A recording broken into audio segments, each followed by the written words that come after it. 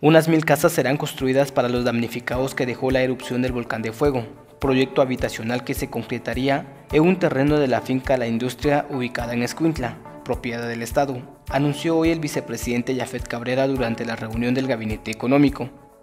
Ya se definió una zona y se están finiquitando los procesos de planificación de la reconstrucción, aseguró el vicemandatario, quien, además, expuso que en una conferencia de prensa el presidente de la República Jimmy Morales dará a conocer el modelo de vivienda que se plantea edificar. Cabrera dijo que después de un censo se estableció en 900 el número de familias cuyas casas quedaron destruidas por los materiales piroclásticos expulsados por el coloso el pasado 3 de junio. El proyecto se hará en concordancia con la municipalidad de Escuintla, con la que se ha determinado que allí confluirán los aportes de donaciones para apoyar la situación difícil de las personas albergadas.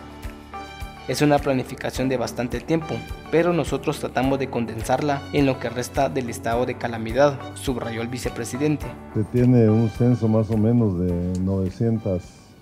900 eh, familias que tienen problemas en sus viviendas. Eh, se está pensando en reconstruir mil viviendas y eh, ya se definió una zona que es la finca La Industria y se están finiquitando los procesos de planificación de la reconstrucción.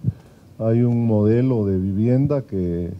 eh, hoy por la tarde me parece que el señor presidente va a citar a una conferencia de prensa en donde se darán los detalles de este proceso y eh, esto en concordancia con lo que la municipalidad y el señor alcalde de Escuintla han determinado, en donde ahí van a confluir todos los aportes que vengan de donaciones, eh, todos los aportes de cualquier guatemalteco que quiera contribuir a apoyar esta situación tan difícil que están atravesando nuestros compatriotas que están en los albergues.